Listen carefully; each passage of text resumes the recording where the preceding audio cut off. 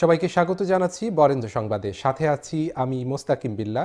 শুরুতেই সংবাদ শিরোনাম। মুজিব বর্ষে এক লাখ নতুন নারী উদ্যোক্তা তৈরি করা হবে বললেন ইন্দিরা। রাজশাহীতে পুলিশের জ্যাকেট পরে ছিনতাই, চার যুবক গ্রেপ্তার। এতক্ষণ শুনছিলেন সংবাদ শিরোনাম, এবারে বিস্তারিত। রাজশাহীর পবা উপজেলা হলরুমে মহিলা ও শিশু বিষয়ক প্রতিমন্ত্রী ফজিলাতুন্নেসা ইন্দিরা এমপি বলেছেন, রাজশাহীর কথা মনে হলে জঙ্গি ও বাংলা ভাইয়ের কথা মনে হয়। একসময় এরা রাজশাহীকে সন্ত্রাস ও খুনের রাজ্যে পরিণত করেছিল। বিশেষ করে বাগমারায় তাদের বিভৎস অত্যাচারে মানুষ অতিষ্ঠ হয়ে উঠেছিল। এখন পরিষ্কার, পরিচ্ছন্ন, শান্ত রাজশাহী। এটি সম্ভব হয়েছে জাতির পিতা বঙ্গবন্ধু কন্যা প্রধানমন্ত্রী শেখ হাসিনার বলিষ্ঠ নেতৃত্বের জন্য।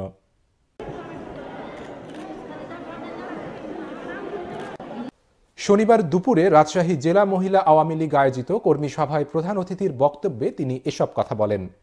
তিনি বলেন এখন নারীরা দুর্বল আমি মানি না। প্রধানমন্ত্রী নারী, স্পিকার নারী, নারীরা বিচারপতি, ডিসি, এসপি, ওসি সবই হচ্ছেন। যোগ্যতা অর্জন করলে নারী পুরুষের প্রাপ্যতার ক্ষেত্র একই।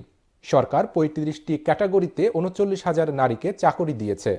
নারীর ক্ষমতায়ন বৃদ্ধিতে মুজিব বর্ষে এক লাখ নতুন নারী উদ্যোক্তা তৈরি করা হবে। মন্ত্রী বলেন, বর্তমান সরকার নারী বান্ধব সরকার।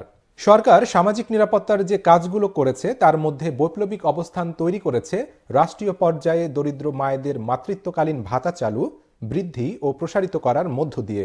বিধবা ভাতা, বয়স্ক ভাতা, অর্থাৎ পিছিয়ে পড়া অবহেলিত, উপার্জন নেই এমন ব্যক্তিবিশেষকে সামাজিক নিরাপত্তার আওতায় আনার প্রয়াস বর্তমান সরকার নিয়েছে। রাজশাহী জেলা মহিলা আওয়ামী লীগ সভাপতি মর্জিনা পারভিনের সভাপতিত্বে বিশেষ অতিথি ছিলেন সাবেক সাংসদ আক্তার জাহান জেলা আওয়ামী লীগ সভাপতি মেরাজউদ্দিন মোল্লা, সাধারণ সম্পাদক আব্দুল ওয়াদুদ্দারা সংসদ সদস্য ও জেলা আওয়ামী লীগ যুগ্ম সাধারণ সম্পাদক আয়ন উদ্দিন সংসদ সদস্য আদিবা আঞ্জুম মিতা, পবা উপজেলা পরিষদ চেয়ারম্যান মনসুর রহমান। অনুষ্ঠান পরিচালনা করেন রাজশাহী জেলা মহিলা আওয়ামী লীগ সাধারণ সম্পাদক অ্যাডভোকেট নাসরিন আক্তার মিতা। অবহেলিত বিভাগ বিএনপি সরকার সিন্ধু ওই রাজশাহীতে জামাতের সৃষ্টি করছে। জঙ্গি সৃষ্টি করছে, নারী নির্যাতন করছে, নারী দর্শন করছে, কিন্তু কোনো উন্নয়ন করে নাই। আমার নেত্রী, জননেত্রী শেখ হাসিনার নেতৃত্বে রাজশাহীকে অনেক, রাজশাহীতে কিন্তু অনেক উন্নয়ন হয়েছে। রাজশাহীতে পুলিশের জ্যাকেট পরে ছিনতাইয়ের ঘটনায় চার যুবককে গ্রেপ্তার করেছে পুলিশ। গ্রেপ্তারকৃতদের কাছ থেকে উদ্ধার করা হয়েছে জেলা পুলিশের নীল রঙের একটি জ্যাকেট ও ছিনতাই করা পাঁচটি মোবাইল। শুক্রবার গভীর রাতে মহানগর পুলিশের কাটাখালী থানার সুচারণ এলাকা থেকে তাদের গ্রেপ্তার করে পুলিশ। গ্রেপ্তারকৃতরা হলেন সুচারণ এলাকার মতিন আলীর ছেলে রুহুল আমিন, সুকবেল আলীর ছেলে নিলয়, জামাল আলীর ছেলে সাগর ও রূপসীডাঙ্গার জামাল আলীর ছেলে শ্রবণ। কাটাখালী থানার ওসি জিল্লুর রহমান জানান, শুক্রবার সুচারণ এলাকায় রাব্বেল নামের এক যুবক তার আত্মীয়ের বাড়িতে বেড়াতে যান।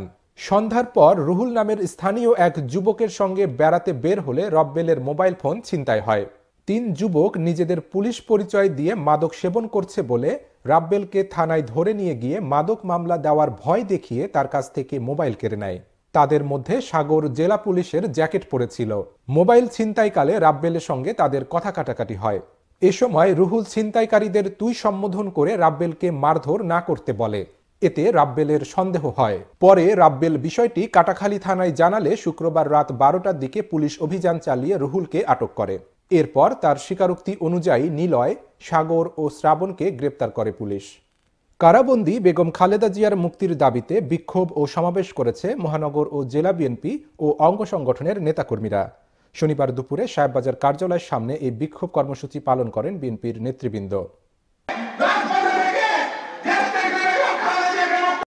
মহানগর বিএনপির সাধারণ সম্পাদক মোহাম্মদ শফিকুল হক মিলনের সভাপতিত্বে বিক্ষোভ সমাবেশে বক্তব্য রাখেন জেলা ও মহানগর বিএনপির নেতৃবৃন্দ।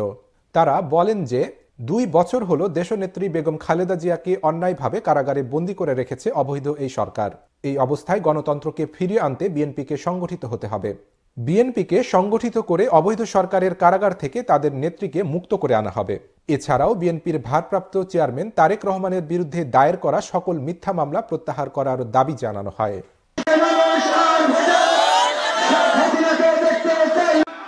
কারাবন্দি বেগম খালেদা জিয়ার মুক্তির দাবিতে নাটোরে বিক্ষোভ ও সমাবেশ করেছে বিএনপি ও তার অঙ্গ সংগঠনের নেতাকর্মীরা। শনিবার দুপুরে আলাইপুরে দলের অস্থায়ী কার্যালয়ে জেলা বিএনপি এই কর্মসূচি পালন করে। জেলা বিএনপির আহ্বায়ক আমিনুল হকের সভাপতিত্বে আয়োজিত সমাবেশে বক্তব্য রাখেন জেলা বিএনপির আহ্বায়ক কমিটির সদস্য সচিব রহিম নেওয়াজ, সাবেক সাধারণ সম্পাদক শহীদুল ইসলাম বাচ্চু, সদস্য ফরহাদ আলী দেওয়ান শাহিন, ডালিম সহ অন্যান্যরা। এ সময় বক্তারা বলেন আজ দুই বছর হলো দেশনেত্রী বেগম খালেদা জিয়াকে অন্যায়ভাবে কারাগারে বন্দী করে রেখেছে অবৈধ এই সরকার। এই অবস্থায় গণতন্ত্রকে ফিরিয়ে আনতে বিএনপিকে সংগঠিত হতে হবে। বিএনপিকে সংগঠিত করে অবৈধ সরকারের কারাগার থেকে তাদের নেত্রীকে মুক্ত করে আনা হবে। এছাড়াও বিএনপির ভারপ্রাপ্ত চেয়ারম্যান তারেক রহমানের বিরুদ্ধে দায়ের করা সকল মিথ্যা মামলা প্রত্যাহার করার দাবি জানানো হয়। নাটোরের নলডাঙ্গায় নৈশ প্রহরীকে বেঁধে চারটি কাপড়ের দোকান থেকে ডাকাতির মালামাল উদ্ধার এবং এক নারীসহ তিনজনকে গ্রেপ্তার করেছে পুলিশ। শনিবার দুপুরে নাটোরের পুলিশ সুপারের সম্মেলন কক্ষে প্রেস ব্রিফিংয়ের মাধ্যমে এই তথ্য জানানো হয়। গ্রেপ্তারকৃতরা হলেন টাঙ্গাইলের মৈশা গ্রামের সোহরাব হোসেনের ছেলে আব্বাস উদ্দিন, টাঙ্গাইলের কালিহাতি থানার মালতী গ্রামের আশকর আলীর ছেলে আশরাফুল ইসলাম ও সিরাজগঞ্জের একডালা কাজীপুর নৌকাঘাট এলাকার বসির ব্যাপারীর স্ত্রী মোসাম্মদ নাসিমা বেগম। গ্রেপ্তারকৃতদের আদালতের মাধ্যমে কারাগারে প্রেরণ করা হয়েছে।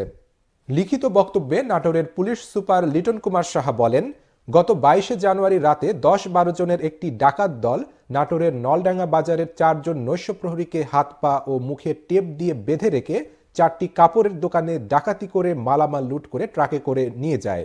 এ সময় ডাকাত সদস্যরা ওই একটি কাপড়ের দোকানের সিসিটিভি ক্যামেরার হার্ড ডিস্কও খুলে নেয়। এই ঘটনার পর নাটোর পুলিশ মালামাল উদ্ধার ও ডাকাত সদস্যদের গ্রেপ্তারের জন্য মাঠে নামে। পরে তথ্য প্রযুক্তির সহযোগিতায় গোপন সংবাদের ভিত্তিতে বগুড়ার নন্দীগ্রামের বিভিন্ন স্থানে অভিযান চালিয়ে আশরাফুল ইসলাম ও আব্বাস আলীকে গ্রেপ্তার করে। প্রেস ব্রিফিংয়ে অন্যান্যদের মধ্যে উপস্থিত ছিলেন অতিরিক্ত পুলিশ সুপার আকরামুল হোসেন, সদর সার্কেলের অতিরিক্ত পুলিশ সুপার আবুল হাসনাত নলডাঙ্গা থানার ভারপ্রাপ্ত কর্মকর্তা তদন্ত ও মামলার তদন্তকারী কর্মকর্তা নজমুল হক সহ পুলিশ প্রশাসনের কর্মকর্তারা। এই ছিল আজকের বরেন্দ্র সংবাদে। এতক্ষণ বরেন্দ্র সংবাদের সাথে থাকার জন্য সবাইকে ধন্যবাদ।